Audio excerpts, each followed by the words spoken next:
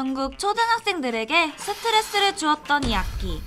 선택받은 소수의 친구들만 소리를 낼 수 있었죠. 이렇다 보니 학교에서는 운지법으로만 수행평가를 진행하기도 했습니다.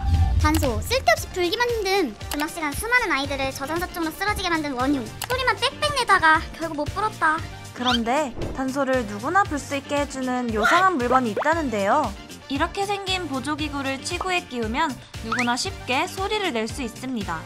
그 단소, 저희도 직접 불어보았습니다.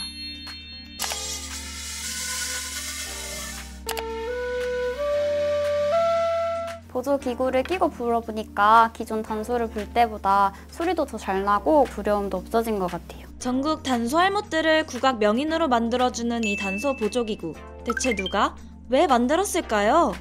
벌써 한 15년이 넘었네요. 어느 누구라도 쉽게 소리낼 수 있도록 연구하고자 했고 어린 학생들이 소리내는 과정이 어렵다고 생각해서 좀 더 이제 쉽게 다가갈 수 있는 방법을 찾고자 보조 기구를 개발하게 되었습니다.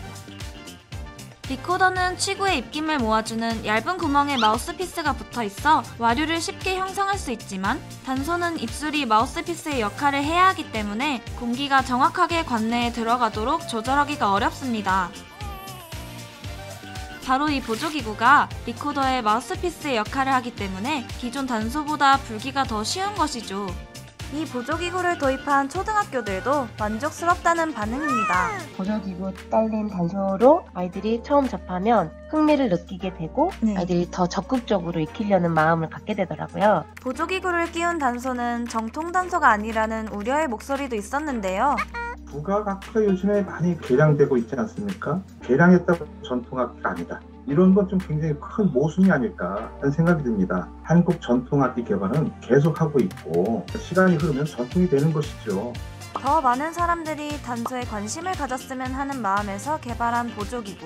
그 마음만큼 우리 전통악기 계승에 도움이 되길 기대해 봅니다. 관심이 없어진다면 전통이 무슨 의미가 있겠습니까? 모두 쉽게 배우고 연주할 수 있다면 더욱더 전통에 대한 관심이 많아지지 않을까요?